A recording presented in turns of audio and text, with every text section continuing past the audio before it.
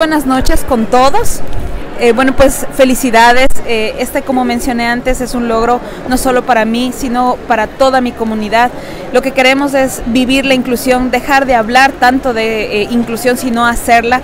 Y yo quiero apoyar a mi parroquia con eso, la inclusión social. ¡Que viva Shell! ¡Que viva Shell!